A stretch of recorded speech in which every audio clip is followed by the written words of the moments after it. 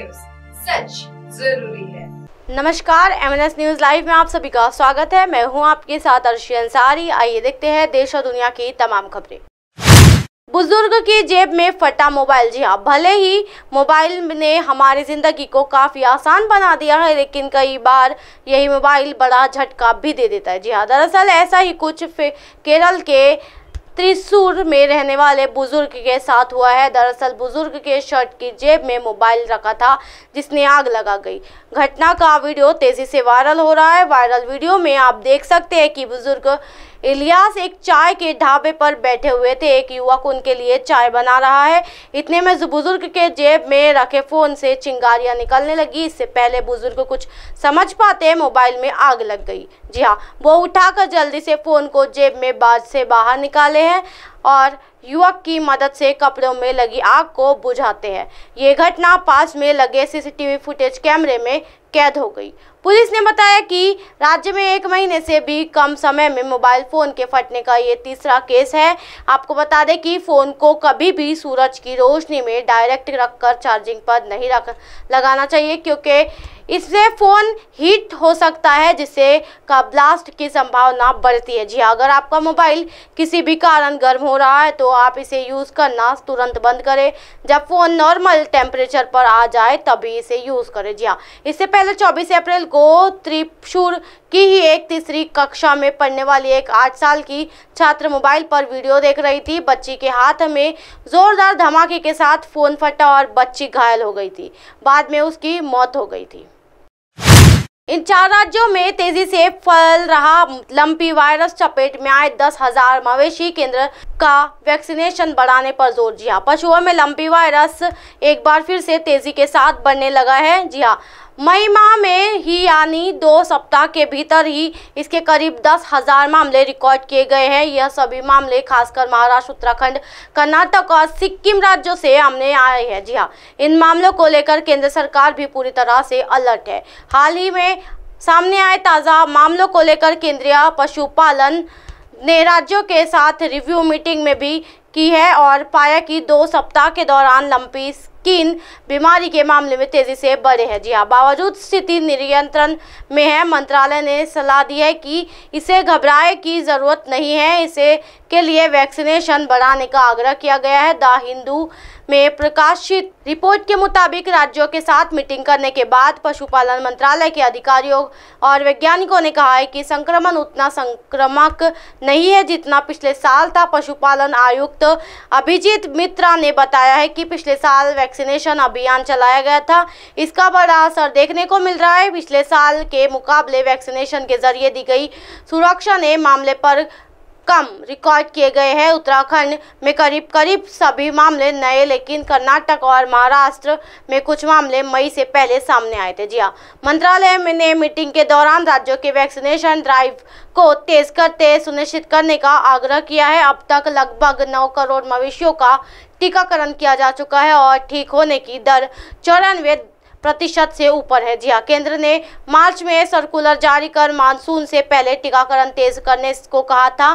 Doctor मित्रा ने कहा था कि टीके की जानकारी, जानवरों को इस बीमारी की चपेट में आने से सुरक्षित किया। मंत्रालय का कहना है कि वैक्सीनेशन के बिना संक्रमण के बहुत अधिक तेज़ी के साथ फैलने और ज़्यादा संक्रमक होने की प्रबल आशंका रहती है। प्रभावित राज्यों के पास टीकों का पर्याप्त भंडार। जी हाँ। क्षेत्रीय पशुपालन निदेशक विजय तेवतिया ने बताया है कि करीब तीन सप्ताह पहले शुरू हुई महामारी की इस लहर में करीब दस हज़ार से ज़्यादा मवेशी संक्रमित हो चुके हैं, लेकिन कोई बड़ी समस्या नहीं है। ये सभी मामले उत्तराखंड, कर्नाटक, महाराष्ट्र और सिक्किम राज्यों से दर्ज किए गए हैं। अभी तक राजस्थान में किसी मामले की पुष्टि नहीं हुई है।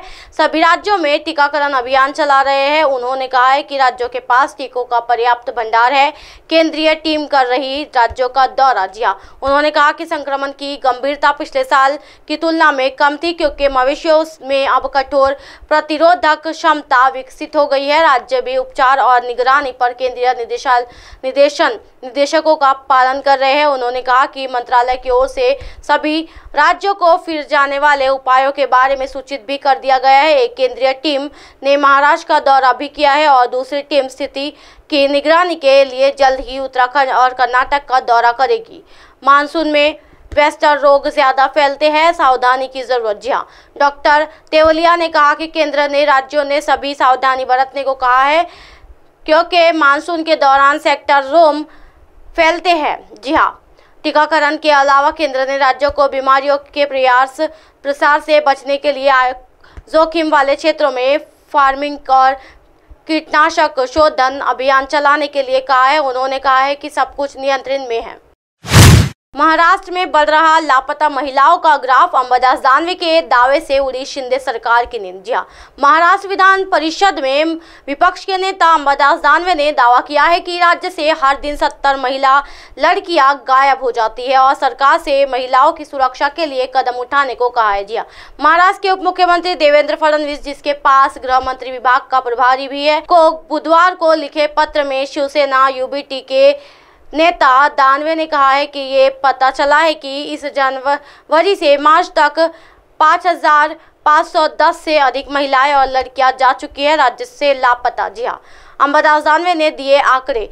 विवरण देते हुए उन्होंने कहा कि जनवरी में 1600 फरवरी में 1810 और मार्च में 2200 लापता हो गए। दानवे ने दावा किया है कि लापता लड़कियों और महिलाओं का ग्राफ राज्य में बढ़ रहा है। महाराष्ट्र को महिला सुरक्षा के लिए अग्रणी राज्यों में से एक के रूप में जाना चाहिए। उन्होंने कहा है कि सरकार को राज्य के महिलाओं की सुरक्षा के लिए तुरंत कदम उठाना चाहिए। जी हाँ विशेष रूप से महाराष्ट्र राज्य महिला आयोग की अध्यक्ष रूपाली चाकनकर ने कहा है हाल ही में कहा है कि राज्य के गृह विभाग को राज्य से लापता महिलाओं का पता लगाने के लिए एक पैनल गठित करने और इसकी प्रगति पर हर पखवाड़े एक रिपोर्ट प्रस्तुत करने के लिए कहा गया है। मुंबई के आंकड़े चौंकाने वाले। जी हाँ महाराष्ट्र राज्य महिला आयोग द्वारा सामने आया एक चिंताजनक आंकड़ा। यह है कि जनवरी से मार्च के बीच राज्य में गुमशुदगा महिलाओं के सबसे ज़्यादा मामले मुंबई से सामने आए हैं। जी हाँ सोमवार को महाराष्ट्र राज्य महिला आयोग एसडब्ल्यूसी की अध्यक्ष ने राज्य में लापता महिलाओं की बढ़ती संख्या और इन मामलों को संभालने के लिए एक संरचना की अनुपस्थिति दोनों पर चिंता जताई है। एसडब्ल्यूसी की अध्यक्षता रूपाली चाकनकर द्वारा एक प्रेस कॉन्फ्रेंस में प्रस्तुत महाराष्ट्र पुलिस के आंकड़ों के अनुसार एक जनवरी से 31 मार्च 2023 के बीच राज्य भर से 16 से 35 वर्ष की आयु की कुल तीन हज़ार पाँच सौ चौरानवे लड़कियाँ यानी महिलाएँ लापता हो गई है। जिला आंकड़ों के बार ब्रेकअप से पता चला कि लापता मामलों की सबसे अधिक संख्या तीन सौ तिरासी मुंबई शहर के रिपोर्ट की गई थी। जी हाँ इसके बाद अहमदानगर में एक सौ तिरासी मामले, नागपुर ग्रामीण और नासिक ग्रामीण में एक सौ उनसत्तर, एक सौ उनसत्तर मामले और पुणे ग्रामीण और पुणे शहर में क्रमशः एक सौ छप्पन और एक सौ अड़तालीस मामले थे। अब आप हमारे चैनल को आपके मोबाइल पर भी देख सकते हैं। मोबाइल ऐप पर देखने के लिए प्ले स्टोर से MS News TV app download करें। इंस्टॉलिंग ट्विटर हाई क्लिक फेसबुक और कई सोशल मीडिया के प्लेटफॉर्म पर हमारा चैनल उपलब्ध है। आप इसे यूट्यूब पर भी देख सकते हो।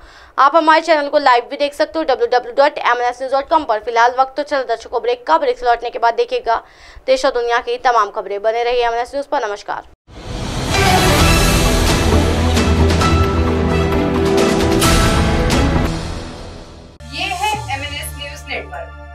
देख रहे हैं एमएनएस न्यूज़